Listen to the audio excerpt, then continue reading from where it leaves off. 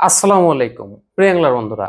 আজকে কথা বলব যারা সিঙ্গেল কাটা, ডাবল কাটা বা এক কাটা, দুই কাটা এই টিকিটগুলোতে আপনারা মাছ ধরতে যান এবং যারা এই এক কাটা এবং দুই কাটা বিভিন্ন লেক, বিল বা খালে এই ধরনের জায়গাতে যারা মাছ ধরেন, তাদের বিষয়ে কিছু টিপস দিব এবং মাছটা আসলে কোন লেয়ারে বড় মাছ থাকে একদম আপনারা যে খারাপ আশা খেলেন, অনেক সময় দেখা যায় বেশি ছোট মাছ হচ্ছে। তো তাদের জন্য কিছু টিপস থাকবে এবং এইটাই মূলত বাস্তব। এবং এই বিষয়গুলো স্টেপ বাই স্টেপ আপনি যদি ফলো করেন, তাহলে খারাপ আশায় আপনি একটা ভালো রেজাল্ট করতে পারবেন। কারণ এখানে চার করার পরে এরকম প্রবলেমটা হয়। দেখা যায় চার করার পরে এখানে অনেক ছোট মাছ চলে আসছে আর কি। এখন বড় মাছ আসছে কিনা এই বিষয়টা কেমনে বুঝবেন এবং বড় মাছ আসলে আপনারা কি করবেন এই বিষয়টা নিয়ে মূলত আলোচনা করব। তো আপনারা দেখছেন hook fishing video review channel, আর আমি আছি উমর ফারুক। তো চলুন শুরু করা যাক।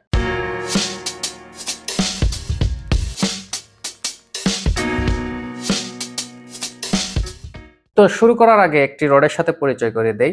এটা হচ্ছে দাইয় দাইয় ক্রস ফায়ার এই রডটা হচ্ছে সাড়ে সাত ফিট। যারা সিঙ্গেল কাটা ডাবল কাটা এরকম খেলতে চান, তাদের জন্য এটা একটা পারফেক্ট রড যেটার সাত থেকে বত্রিশ গ্রাম হচ্ছে লুর ওয়েট এবং লাইন ওয়েট হচ্ছে দশ থেকে বিশ এলবি অর্থাৎ ভালো একটা লোড ক্যাপাসিটি আপনারা এখান থেকে পাবেন এবং এটা হচ্ছে মেড ইন ভিয়েতনাম এটা সাড়ে সাত ফিটের একটা রড আর এখানে একটা হুক লকার ওয়ের সাথে দেয়া আছে সিঙ্গেল কাটা যারা খেলেন, স্থান পরিবর্তনের ক্ষেত্রে এটা খুব ভালো কাজ দেয় হুকটা এখানে লাগায় মানে স্থান পরিবর্তন করতে গেলে খুব সুবিধা হয়। এটা হচ্ছে মেড ইন ভিয়েতনাম আর সাড়ে সাত ফিট এই রডটা এর ওজন হচ্ছে একশো উনপঞ্চাশ গ্রাম। এটার ওজন।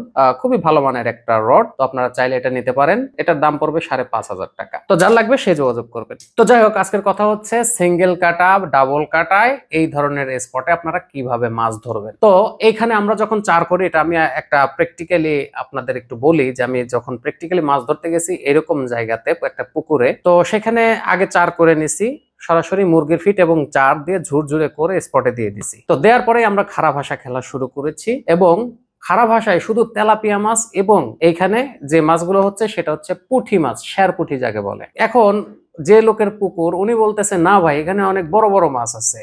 কালীবাউস আছে, রুই আছে, তারপরে বিঘের আছে, বিভিন্ন মাছ আছে আর কি, পাঙ্গাস আছে। তো খারাপ ভাষায় পাঙ্গাস মাছও পাইছি আর কি। আমরা টোপ দিছিলাম হচ্ছে সরাসরি মুরগির ফিট, কোনো ভাজাভাজি নেই, মুরগির ফিটটা ভিজানোর পরে এটার সাথে কিছু রুটির গুঁড়া মিক্স করে এই টোপটাই ব্যবহার করছি, কোনো পিঁপড়ার ডিম, কোনো কিছুই ছিল না। মানে খুবই দ্রুত আর কি, অল্প সময়ের মধ্যে অ্যারেঞ্জ করা আর কি। তো মানে ওই পুকুরের মালিক আসছিল, তারপরে ফোন দিয়েছে ওনাদের সাথে ভালো সম্পর্ক। এই জন্য আর কি, যে আসেন, দেখেন তো কি অবস্থা, মাছ কত বড় হইল না হইল, অনেক বড় বড় মাছ আছে দেখলাম। যাই হোক, প্রথমে শুধু তেলাপিয়া মাছ, পুঁটি মাছ এবং পাঙ্গাস মাছ আমরা হিট করতেছি। কিন্তু ওনার কথার সাথে আমরা মিল পাচ্ছি না। মিল আমি তখনই পাইলাম। যখন আমি লক্ষ্য করলাম যে আমার স্পটে আমি তো দেখতেছি যে অনেক বুদবুত অনেকে বলেন বুদবুত তারপরে কেউ বলেন ভুরভুরি, অর্থাৎ মাছ যখন একটা মোটামুটি হালকা কাদার মধ্যে এসে মাছ যখন খাবারের জন্য নড়াচড়া করবে বা কামড়া কামড়ি করবে তখন নিচ থেকে দেখা যাবে যে এক ধরনের আহ, বুদবুদ উঠবে বা ভুরভুরি উঠবে। তো তখন আমি বুঝতে পারলাম যে না মাছ এখন এখানে নিচে বসছে আমার উপরে আসলে সব ছোট মাছ। তখন আমরা ওই সিঙ্গেল কাটাই বা দুই কাটাই বাঁধা ছিল আমি সরাসরি নিচে দিয়ে দিলাম। দিয়ে সরাসরি নিচে দেওয়ার পরেই তারপরে যে কটা হিট হয়েছে ভাই সবগুলো রুই মাছ এবং হচ্ছে কালীবাউস তো এখন এখানে যে বিষয়, অনেকেই সিঙ্গেল কাটা এবং ডাবল কাটায় মাছ ধরেন এবং বলেন যে, ভাই, শুধু ছোট মাছ হচ্ছে। তো এখন দেখেন, অনেকেই সিঙ্গেল কাটা খেলে। যারা খুবই মানে পারদর্শী, তারা কিন্তু একবারে যে উপরে লেয়ারে রাখে তা কিন্তু না। তারা মাটি থেকে বড় জোর চার আঙ্গুল উপরে রাখবে। এটা কিন্তু আপনি হয়তো বুঝতে পারবেন না। অনেকেই মনে করতে পারেন যে, না, সেও তো খারাপ আশা দিছে, উপরে রাখছে, অনেক উপরে রাখছে। তার মাছ হচ্ছে কেন, আমার হচ্ছে না। তো এখন আপনি যখন চারটা করেন, চার তো আর ওই ভেসে থাকে না, চারটা কিন্তু মাটিতেই পড়ে যায়। তো যখনই মাটিতে পড়বে, তখন ওই চারের যে তেল থাকে বা সেন্ট থাকে, এটা উপর দিকে ওঠে, তেলের সাথে আর কি। তো এই উপরে ওঠার কারণে এই যে তেলাপিয়া মাছ, তারপরে পুঁটি মাছ, এগুলো যেহেতু উপরের লেয়ারের মাছ, এই উপরে এসে এগুলো বেশি গ্যাঞ্জাম করে। আর যেটা হচ্ছে বড় সাইজের মাছ, যেগুলো সাইজের মাছ, এগুলো কিন্তু নিচে সরাসরি চারে চলে যায়। এবং নিচে বসার কারণে আপনারা এই বড় মাছটা পান না, তখন পান হচ্ছে শুধু ছোট মাছগুলো। এই যে যারা সিঙ্গেল কাটা এবং ডাবল কাটা খেলেন, তাদেরকে আমি বলব যে আপনারা যখন পুকুরে বা লেক বলেন আর খালেই বলেন, যখনই চার করবেন, একটা জিনিস লক্ষ্য রাখবেন যে ওই স্পটে যে মাছ, যেটা বড় মাছ, সেটা অবশ্যই বায়ুকুঠুরি বা বুদবুদ বা ভুরভুরি, এইটা উঠবে। তো যখন উঠবে, তখন আপনাকে মনে করতে হবে যে হ্যাঁ মাছ নিচে বসছে এবং বড় সাইজের মাছ বসছে। আর যখন শুধু খারাপ আশা দিচ্ছেন, কিন্তু মাছ উঠতেছে শুধু ছোট মাছ তাহলে আপনি মনে করবেন যে হ্যাঁ এই লেয়ারে শুধু ছোট মাছই হচ্ছে, তাহলে আমি একটু নিচে টেস্ট করে দেখব যে আসলে নিচে বড় মাছ হচ্ছে কিনা। এটা কিন্তু আপনি তখনই দেখবেন যখন বুঝবেন যে না নিচে এসে ভাঙতেছে, মাছ কিন্তু ভাঙে। এই যে চারগুলোর মধ্যে খাবার দাবারের জন্য ওরা এসে আর কি অনেকগুলো মাছ আসে, এসে ওরা খাবার খায়।